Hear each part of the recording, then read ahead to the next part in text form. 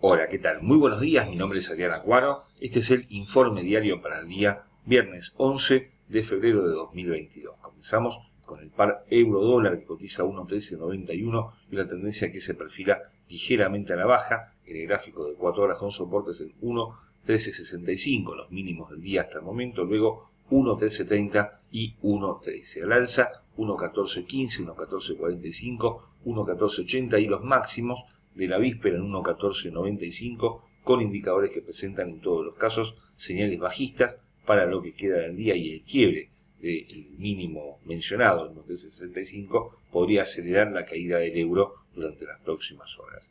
Eh, forma además una suerte de doble techo. El gráfico mencionado, ahí se ve con mayor claridad, lo cual parece también anticipar una caída, ahí se ve más claro ese doble techo, en las próximas sesiones. En tanto, la libra esterlina cotiza 1.3552 y una tendencia que se perfila ligeramente al alza en el gráfico de 4 horas luego de una fuerte volatilidad que presentó el mercado en las últimas eh, sesiones con soportes en 1.3535, 1.3510 y 1.3490. Al alza 1.3590, 1.3615 y los máximos de la víspera en 1.3645 con indicadores que mantienen señales bajistas en el corto plazo, pero con algún nivel de reversión de las mismas momentos RSI circulan cerca de sus líneas medias, en tanto el oscilador estocástico tiene una señal bajista que ya entra en zona de agotamiento y el quiebre de la zona de los máximos del día hasta el momento en 1.3570 podría cambiar este panorama favorable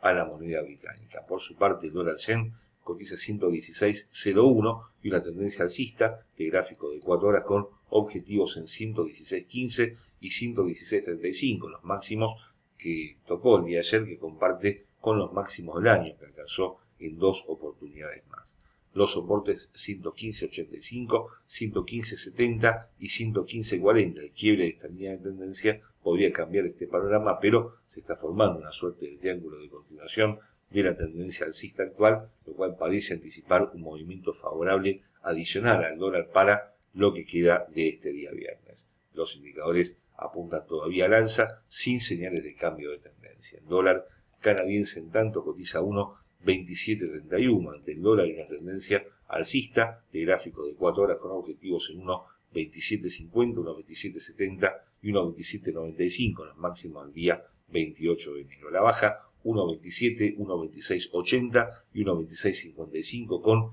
indicadores que presentan señales alcistas en todos los casos, sugiriendo una ganancia adicional del dólar que deberá de todas formas superar esta zona de 1.2750 para seguir escalando posiciones. El dólar peso mexicano muy volátil, cotiza 20,49 y una tendencia que ahora se perfila a la baja en el gráfico de 4 horas con soportes en 20.43, 20.35 y 20.27 estos son los mínimos del día 10 derivados de un alza de tasa de interés de Bancico al alza 20.54, 20.62 y 20.70 con indicadores que presentan señales claramente bajistas anticipando una caída adicional de precio que tendrá solamente un soporte importante en el 61.8% de este alza anterior en 20.45. El dólar australiano en tanto cotiza a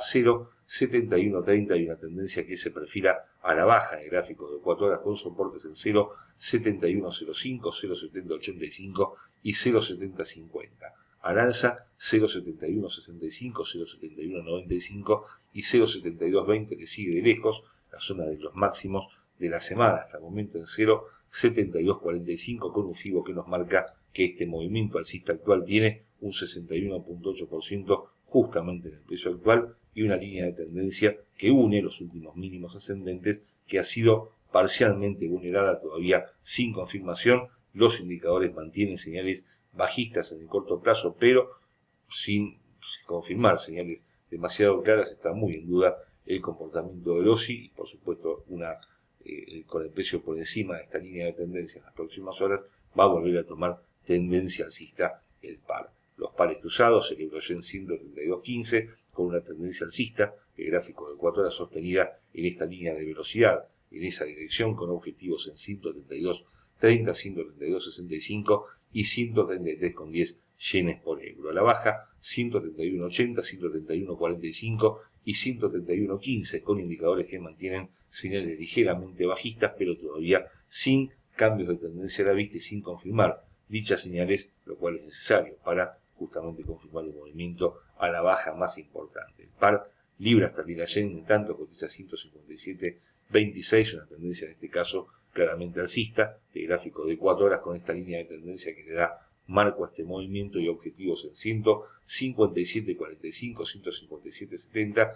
y 158.05. A la baja 156.85, 156, 55 y 156.20 con indicadores que mantienen señales mixtas. RSI momento por encima de sus líneas medias pero apuntando ligeramente a la baja con una señal totalmente confirmada a la baja del estocástico 533 que sin embargo ya parece entrar en sus últimas etapas las materias primas, el petróleo, hablamos de los futuros de West Texas, cotiza 89 dólares con 4 centavos 5 ahora con una tendencia que se mantiene alcista, el gráfico de 4 horas y objetivos el 89, 55, 90 con 60 y 91 con 70, los máximos del día 4, los máximos del mes hasta el momento, los soportes 88, 87, 35 y 86 dólares con indicadores que presentan una divergencia entre el momento y la curva de precios, anticipando que a, esta, a este movimiento bajista de muy corto plazo ya parece quedarle poco y todo indica que puede haber un movimiento favorable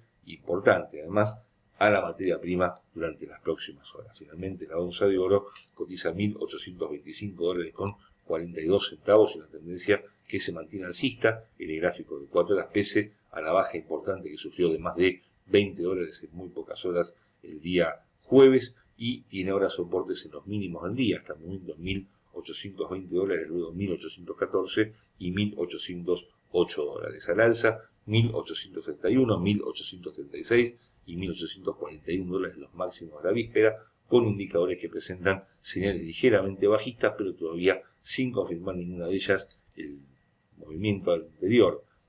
el alza anterior medido con FIBO tiene justamente debajo del nivel actual un 38.2% y si logra sostenerse encima por encima de ese nivel, va a ganar posiciones la onza durante las próximas horas. Señores, como siempre, tengan todos una excelente jornada de operaciones y además un muy buen fin de semana. Nos vemos el próximo lunes.